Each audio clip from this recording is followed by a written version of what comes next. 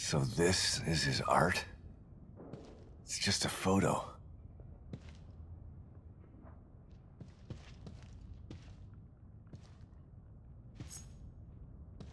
I'm gonna stab the shit out of you.